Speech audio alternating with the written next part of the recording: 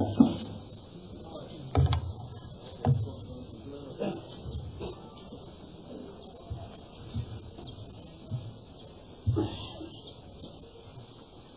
الحمد لله نحمده ونستعينه ونستغفره ونعوذ بالله من شرور أنفسنا ومن سيئات أعمالنا. من يهديه الله فلا مضل له ومن يضلل فلا هادي له. وأشهد أن لا إله إلا الله وحده لا شريك له.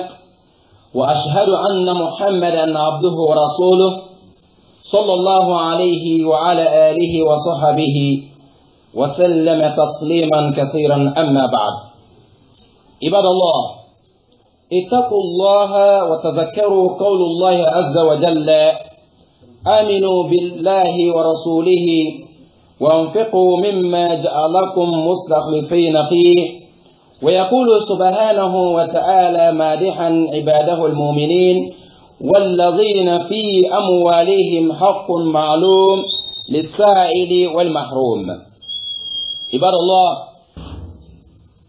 اعلموا أن حقيقة المال العبد ما قدم لنفسه ليكون له ذكرا بعد موته وليس ماله ما جمع فاقتسمه الورثة بعده.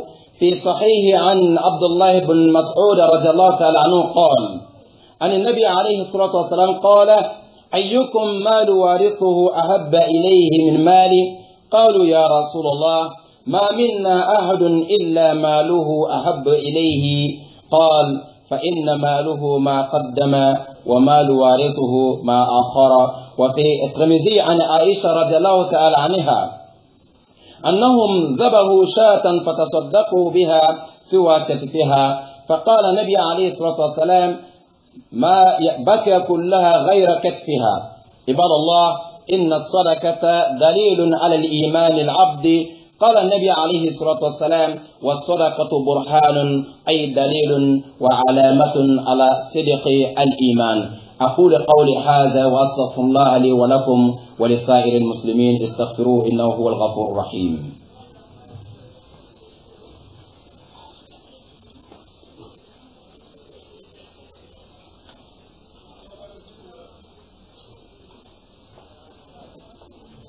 الحمد لله وكفى. والصلاة والسلام على من لا نبي بعده محمد بن عبد الله وعلى آله وصحبه ومن تبعهم بإحسان إلى يوم الدين. أما بعد أحبتي في الله إن الصدقة دليل على إيمان العبد كما سبق معنا في الحديث السابق. وأن الصدقة برهان والصدقة يمحق الله يعني بها أو تطفئ السيئات وكذلك تطفئ غضب الرحمن Chers frères et sœurs dans la foi, nous remercions Allah infiniment et que la paix et le salut du Tout-Puissant soient sur notre guide Mohammed ainsi que sur sa famille et ses compagnons et tous ceux qui ont accepté sa tradition jusqu'au jour de la résurrection. Chers frères et dans la foi, Allah nous interpelle dans le Coran au nom des croyants. Il n'a pas dit les musulmans. Il a dit les croyants. Car dans le Coran, Allah n'a pas besoin des simples musulmans, Allah a toujours besoin des croyants. Lorsque tu es seulement musulman, il faut dépasser cette étape pour arriver au niveau de Al-Iman, pour que tu rentres dans le rang de Al-Mu'minun. Car tous les musulmans ne sont pas du tout croyants, mais tous les croyants sont musulmans. Allah ne dit jamais dans le Coran, Ya ayyuhallazina aslamu. Il dit toujours, Ya ayyuhallazina amanu. Il nous interpelle au nom des croyants en disant que ceux-là qui donnent leur bien pour la bonne cause, pour ceux-là qui n'ont pas de moyens, ou dans les projets d'Allah subhanahu wa ta'ala, Allah a rassuré ces gens-là de son pardon et sa miséricorde. Chers frères et sœurs dans la foi, prophète Mohammed sallallahu alayhi wa sallam, il a posé un jour la question aux Sahaba en disant que qui d'entre vous qui préfère l'argent qu'il va laisser pour ses héritiers plus que son propre argent? Qui préfère l'argent que tu laisses après ta mort, c'est ça que tu préfères, ou l'argent même que tu vas utiliser avant ta mort? Les Rasulallah, nous tous, chacun de nous aime l'argent que lui-même va utiliser, pas l'argent que tu vas laisser pour euh, tes héritiers. Prophète dit, en réalité, l'argent qui est pour toi, c'est ça que tu donnes à Allah avant ta mort. L'argent que tu dépenses dans les bonnes causes avant ta mort, c'est ça ton argent. Mais ce que tu regroupes et, et laisses derrière toi, ce n'est pas pour toi. Parce que après ta mort, les uns et les autres, ils vont partager ça avec toi. Et parfois, ils se retrouvent même au tribunal à cause de cet argent que tu as à chercher. Peut-être le jour même que tu as regroupé cet argent, tu as regroupé la prière. Elle va te juger. Et par comment tu as regroupé l'argent, et tu as dépensé sur quoi? Et parfois, tu as gagné l'argent dans le mauvais chemin et laissé encore cet argent derrière toi. Parfois, c'est les mauvaises choses que les gens continuent à faire derrière toi. En réalité, l'argent qui est pour toi est ce que tu vas dépenser avant ta mort. Dans quel chemin? Chemin d'Allah subhanahu wa ta'ala. Chers frères dans la foi, le monde, les soraka, les dons, alors c'est aussi euh, burhanun, aussi alamatun, al-iman. La personne qui donne le monde chaque, euh, chaque fois, la personne qui aide les pauvres, la personne qui dépense son argent dans les chantiers d'Allah subhanahu wa ta'ala, et c'est une prière qui montre que la personne a la foi dans son cœur. Celui qui n'a pas la foi, lui ne peut pas dépenser son argent dans le chemin d'Allah subhanahu wa ta'ala. Celui qui n'a pas la foi, lui ne peut pas dépenser. Vous allez créer nuit et jour, lui son argent ne peut pas rentrer dans le chantier d'Allah parce que il y a quelque chose qui manque dans son cœur qu'on appelle la lumière de la foi, la lumière de Al-Iman. Tu vas forcer la personne, lui ne peut pas. Parce qu'il y a quelque chose dans lequel qui doit te pousser à pousser ta main pour donner à cause d'Allah c'est une lumière. Cette lumière, on l'appelle Al-Iman. Celui qui donne son argent dans le chantier d'Allah, alors ça nous montre que la personne a la foi. On sait ici que la personne est parmi les al-mu'minun qu'Allah subhanahu wa ta'ala dit dans le Coran ya ayyuhallazina amanu qui ne dit pas ya ayyuhallazina aslamu? Simple musulman ne peut pas donner son argent dans le chantier d'Allah subhanahu wa ta'ala. Mon frère, lorsque tu vois que chaque fois et que tu as envie de donner dans le chantier d'Allah, oui, il faut savoir déjà que toi tu as la foi. Et lorsqu'on voit X ou Y, que chaque fois qu'il donne son argent pour aider les pauvres ou dans le chantier d'Allah, c'est aussi une preuve pour nous, pour montrer, c'est un témoignage que cette personne, cette dame et ce monsieur a la foi parce que le prophète sallallahu alayhi wa sallam nous a éclairci cela. Et même si on te voit aussi dans la mosquée, que c'est toi qui es premier rang ou deuxième rang, troisième rang, tous les jours on te voit, mais ton argent ne tombe jamais dans le chantier d'Allah et on connaît aussi que toi tu n'as pas la foi. Il ne faut pas que et que tu sois parmi ceux-là qui ne peuvent pas dépenser leurs biens pour la cause d'Allah subhanahu wa ta'ala. Chers frères dans la foi, vous savez que c'est les dons. Lorsqu'on fait les dons, et c'est ça qui éteint la colère d'Allah subhanahu wa ta'ala. Parfois, il y a des péchés. Nous, peut-être, on va voir ça et ça, c'est petit péché. Mais non, il n'y a pas un petit péché, ni grand péché, mais il y a un grand Dieu. Il y a un grand créateur. Ne regardez pas le péché, la grandeur du péché, le péché est trop petit. Non, mais il faut regarder à qui tu as désobéi. Est-ce qu'Allah est petit? Non, il n'y a pas de petit péché. Ne regardez pas aussi que mon péché est grand. Est-ce qu'Allah va me pardonner? Non, il faut regarder, Allah est plus grand que tes péchés. Allah va pardonner tous les péchés. Mais il ne faut pas s'amuser aussi avec les petits péchés. Et c'est les petits péchés qui devient parfois, qui fait en sorte que Allah est en colère contre toi. Mais parfois, on ne sait pas par quel péché Allah il va se fâcher contre nous. Mais il faut donner toujours, il faut donner, alors que c'est les dons dans le chantier d'Allah, aider les pauvres, faire les biens, c'est ça qui va éteindre la colère d'Allah, comme lorsque tu verses l'eau sur le feu. Et pareillement, c'est le péché, Yani. Et pour effacer aussi tes péchés, c'est avec les dons. Rasul sallallahu nous a dit, alors, si tu veux eh, effacer tes péchés, fais toujours les biens. Il faut toujours dépenser tes biens alors, dans le chantier d'Allah subhanahu wa ta'ala, et tu es en train d'effacer aussi tes péchés. Vous savez, au jour de, la résurrection, et chaque personne parmi nous, alors lorsque le soleil sera proche de nous, à peu près moins de 7, euh, moins de 7 mètres Aujourd'hui, nous sommes à peu près 1 million 500 de kilomètres entre nous et le soleil. Mais le jour de la résurrection, peut-être est comme euh, 7 mètres seulement. C'est seulement ceux-là qui ont donné beaucoup pour Allah subhanahu wa ta'ala, ils seront dans la salle climatisée. Salle climatisée que toi-même tu as construit là-bas, avec le bien que tu as donné. Mais si toi tu ne connais jamais donné pour Allah subhanahu wa ta'ala, et si tu arrives là-bas, si c'est chaque fois, et tu as des millions, lorsqu'on demande fils tu connais seulement donner les 100 francs, tu connais seulement donner les 1000 francs, et pourtant toi tu sais que toi tu peux donner 1 million, ça ne te dérange pas du tout. Tu sais que tu peux donner 10 millions, ça ne te dérange pas du tout. Au jour du jour dernier, on va dire, bon monsieur, ce que tu as donné pour Allah, ici, vraiment, il fait chaud, mais ce que toi-même tu as déjà construit, les ventilateurs, les climatiseurs que tu as déjà achetés, alors va rester là-bas, parce qu'il fait chaud ici. C'est là que tu vas regretter. Si je savais, j'allais donner beaucoup, alors pour avoir une salle bien climatisée. Combien de personnes ils ont réuni? Des millions et des milliards, un coup ils sont partis comme ça. La mort n'envoie pas de, messages à quelqu'un pour dire que attends le mois prochain. Hein. On peut sortir ici, on peut dire que le Sangaré qui était devant vous, il est parti. Donc, ce qu'on peut faire maintenant, on doit faire. On ne doit pas attendre le mois prochain ou l'année prochaine parce qu'on ne sait pas, on n'a pas l'assurance qu'Allah va nous garder jusqu'à l'année prochaine. Combien de personnes ils ont négligé le pèlerinage? Je vais faire l'année prochaine, je vais faire l'année prochaine. Les jours que tu dis ça, tu sais que tu as 20 millions. Mais avant l'année prochaine, ton argent est fini. Même un million, tu ne peux plus avoir ça. Au jour du mois dernier, tu vas avoir le problème parce que tu as refusé de faire le pèlerinage. Les jours que tu pouvais faire, tu as retardé, retardé. Chetan t'a dit, non, mais pourquoi tu vas aller faire le pèlerinage Tu es encore jeune. Alors, l'année prochaine, tu peux aller faire. Est-ce que c'est le vieux de pèlerinage qui va te manquer l'année prochaine Chetan va te bousculer comme ça. Et tu vas refuser de faire ce qu'il faut faire. Alors, l'année qui vient, avant ça, ton l'air tombe dans l'eau. On ne peut pas être plus malin qu'Allah subhanahu wa ta'ala. C'est là qui nous donne et lorsqu'on donne un Allah, il va nous rembourser avec 10. Pourquoi faire la mesure c'est qu'on appelle ça manque de la foi. C'est pour ça que nous dit, lorsqu'on a la foi, on donne parce qu'on sait qu'Allah va nous donner. Mais lorsqu'on n'a pas la foi, on va dire, mais si je donne, ça va finir.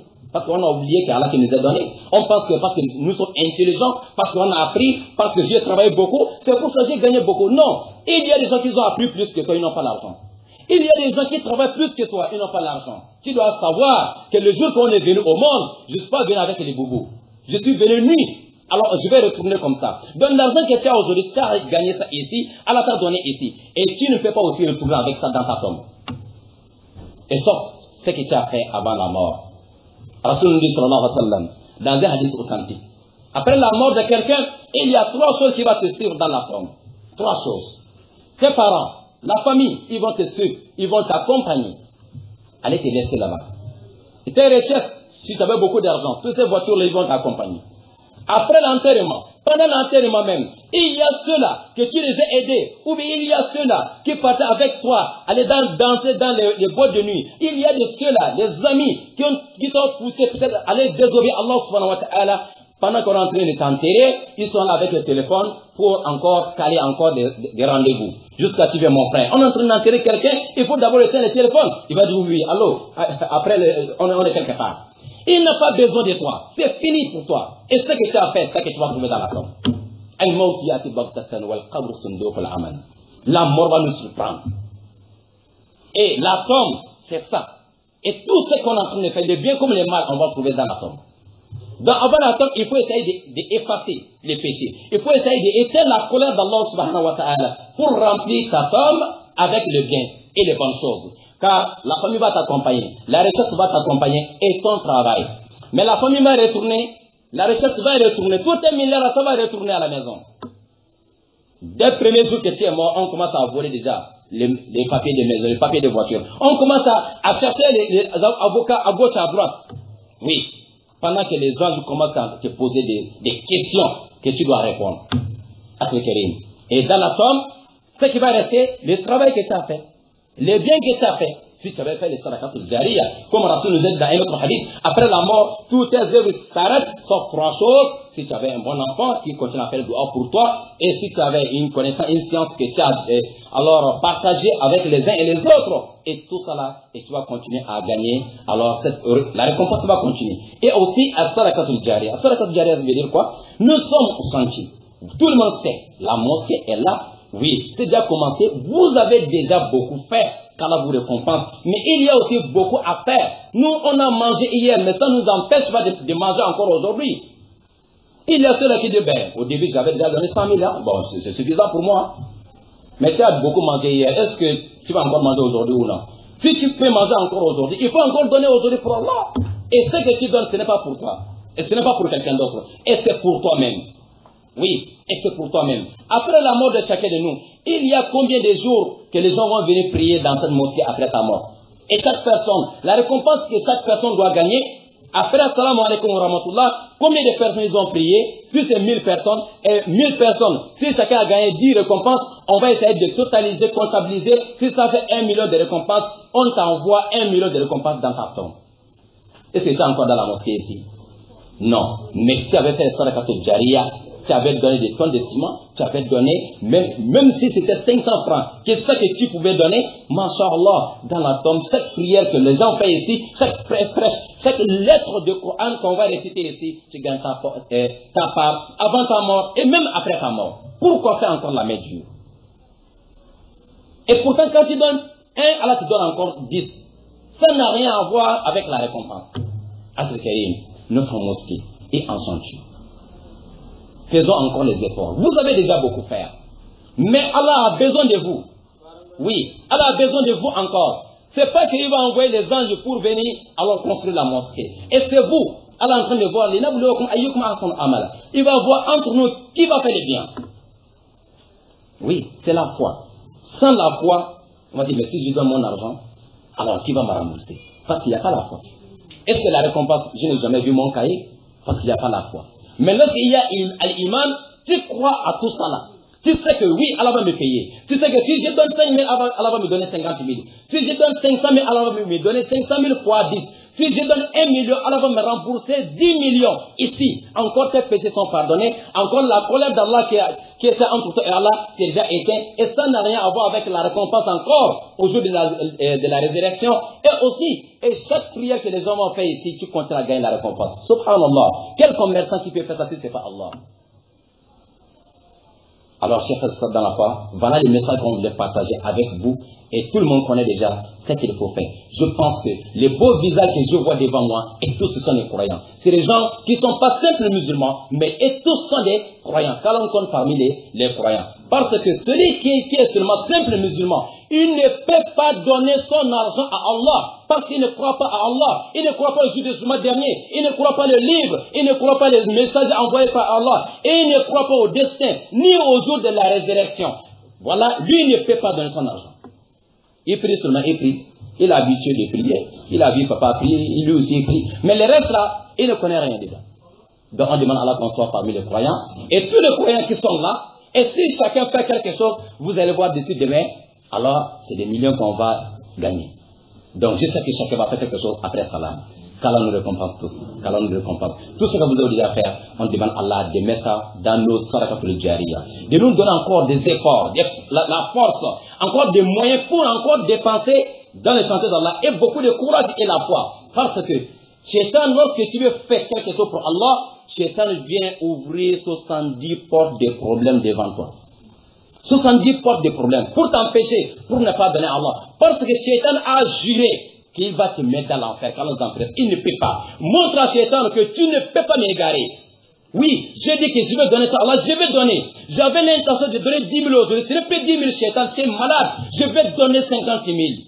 Oui, Shaitan, tu ne peux pas m'égarer. J'avais dit que je vais donner 100 000. Ce n'est pas 100 000 aujourd'hui que je vais te donner 1 million. Shaitan, tu vas voir. Il faut pas pleurer Shaitan. Faut pas faire que Shaitan va rire de toi.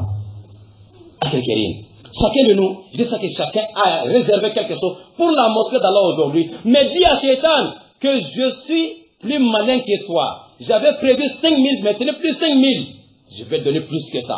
Parce que je vais gagner le paradis. Tu as juré que tu vas m'égarer. Moi, je vais jurer aussi que tu ne vas pas m'égarer. On est d'accord? On demande à Allah de nous faciliter, Inch'Allah. Subhanak Allahumma wa bihamdika anta wa. هذا ما أقول لي ولكم وأستغفر الله لي ولكم ولسائر المسلمين من كل ذنب استغفروه إنه هو الغفور الرحيم. والسلام عليكم ورحمة الله وبركاته.